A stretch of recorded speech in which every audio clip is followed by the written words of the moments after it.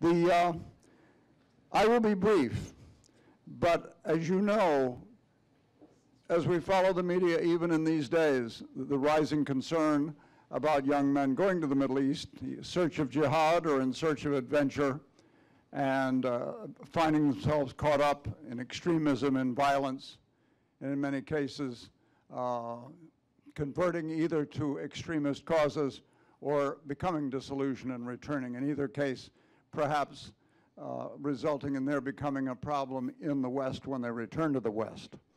There was a book during the Cold War, my war, which was a 1949 book called The God That Failed, The God That Failed, that was about people who had embraced communism, felt it was, they were true believers, and they lost the faith. They realized that was not the Holy Grail. And tonight's story is very much a story of conversion, of an epiphany, conversion, and eventual loss of faith. And I think you will find it absolutely fascinating. The story is one that was developed initially by our then historian, Dr. Mark Stout. and I will introduce him shortly. He will introduce our speakers. And Mark uh, developed this story, uh, having encountered the individual of interest in, of all things, now pay attention, particularly you older people, on Facebook. So anything can come out of Facebook, whether it's academic research or discoveries from the Spy Museum. it will involve, as you will see, a very complicated case, a very involved case uh, involving the equities of CIA. Given my own background, I made the choice not quite to recuse myself, I still have to be the museum director, but in essence to give them their, to give Mark and his associates their lead. Let them develop the case and let the case take them where it may.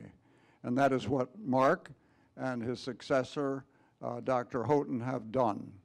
And so tonight's case will be presented. Mark will introduce the speakers, and I believe also, I don't know if you'll dialogue with the speakers, but certainly handle the Q Q&A.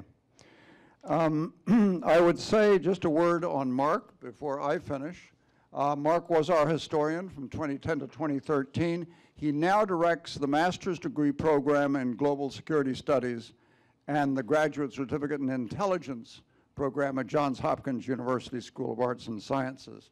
He had 15 years in the federal government as an analyst, holds degrees from Stanford, Harvard, and Leeds in the UK, has co-authored three books and published a number of articles. So please help me our, uh, welcome our guest uh, introducer this evening, Mark Stout. Okay, Mark? Well, well, thank you very much. I'll be brief. Uh, I'm really honored to be here this evening to introduce Paul Cruickshank, Tim Lister, and most importantly, Morten Storm, who you do not see on that screen right now, uh, for this book launch of, of Agent Storm, which is just coming out today in the United States. It's a remarkable book. Um, and I'm, if you look on the back, you'll find my book blurb for it. Um, a few words about the authors. Uh, in, in, uh, uh, starting with Tim. Tim uh, joined the BBC just out of college and worked for quite a number of years in the Middle East. And then in 1996, moved to CNN. Spent uh, quite a number of years with CNN International. Uh, he has specialized particularly, though not exclusively, in terrorism. And uh, the odds are uh, fairly good that you saw some of his reportage, if at no other time than in uh, 2001 when he, when he, was at an obscure, uh, uh, obscure village in Afghanistan known as Tora Bora. Um, I'm also told that uh, yesterday at this time he was in eastern Ukraine, so he's an, he's an interesting individual. Paul Cruickshank um, is a CNN terrorism analyst and investigative reporter. Uh, his website says he's based out of New York City, but near as I can tell, he does every bit as much of roaming the world as, as Tim does. Uh, he has degrees from Cambridge and the School of Advanced International Studies at Johns Hopkins University. And, uh, and I should add that not only is he an excellent reporter, but he's done some really good scholarly work on Al Qaeda uh, in fact, I just sent off a book chapter uh, last week myself, which, which draws in part on his work, and it's, it's a real pleasure to be with him this evening. And then last and certainly not least is uh, Morten Storm, who you'll be seeing uh, on this screen here. Uh, Morten is originally from Denmark. He's coming to us from an, an undisclosed location, can I say the country? In the UK uh, tonight. Morten, you can come on out. You, here we go. um, Morten, I, I won't say too much about, uh, there we are. Thank you. I won't say too much about Morten's story because that's the very substance of what we're, we're, we're here for tonight. I will simply say that he, he did some really extraordinary things to contribute to, our, to our, our mutual, our joint struggle against violent jihadism and the Al Qaeda network, and I'm really delighted to be able to call him my friend. Um, just very briefly, I've been studying in various ways jihadist, uh, violent jihadism for some 20 years now, uh, since the Russians invaded Chechnya right at the end of 1994. And I will say that I'm aware of only other, I'm aware of only two other cases that are even slightly, and I emphasize that, that word, slightly like Morten Storms at all. Uh, the first is Aukai Collins. Uh, he's an American who converted to Islam, uh, became radic radicalized, and went to Chechnya in the mid to late 1990s to fight alongside the Arab so-called Mujahideen there.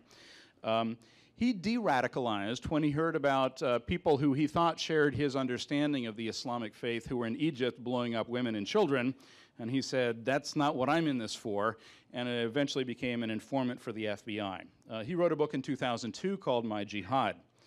Uh, the other, who's even slightly comparable, I think, to Morten Storm, is Omar Nasiri. Uh, he's a Moroccan uh, who, um, uh, in the uh, mid 1990s, uh, got involved with Algerian jihadist extremists and in Brussels, uh, decided it would be a good idea then to embezzle money from them and then realized that he'd done something very dangerous and needed protection and went to the French government.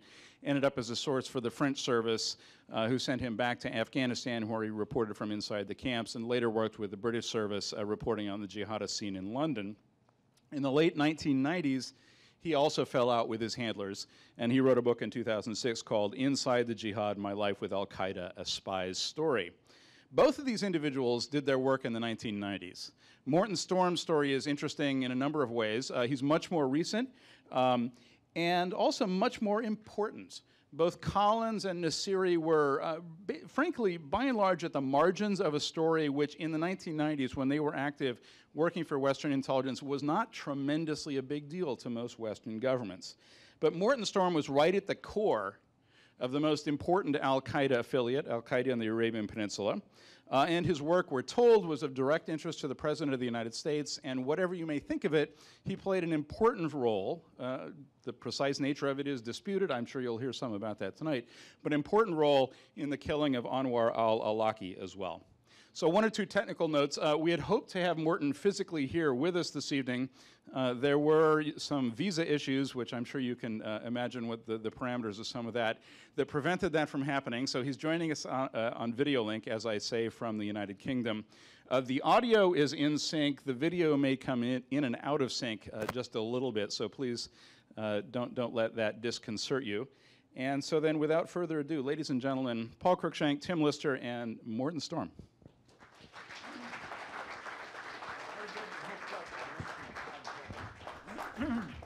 While they're taking their seats, let me just mention one thing. Those of you who want to delve into more detail on the thinking that went through Morten Storm's mind in these, these various epiphanies that he went through, there was a terrific podcast made with our guest this evening uh, by Dr. Vince Houghton, our present historian. So I refer you to that podcast. It should be on the air, I would say, within two or three days at the most. It's an in-depth interview on their experience with Morten Storm. Well, thank you very much, everybody. It's an absolute pleasure to be here. Thank you so much to, uh, uh, and all your team, uh, Peter. And uh, we're, we're, absolutely delighted to be here, delighted uh, that uh, Morten can be here as well in this under, undisclosed location. the palm tree is not necessarily real behind him. Um, but, but, but Morten's story is, is really quite exceptional. Um, I mean, we've never seen a story like this of somebody who's gone so deep inside uh, the world of Al Qaeda and, and, has sort of come back uh, to tell the tale, not in a courtroom or in an interrogation or in Guantanamo, uh, but also somebody who's sort of been so deeply involved with uh, Western intelligence, the sort of tip of the spear uh, in some of their most important counterterrorism operations, uh, targeting operations since 9-11. So for Tim and me, uh, this journey we embarked on with Morten 18 months ago uh, has been so rewarding. We've learned so much uh, from him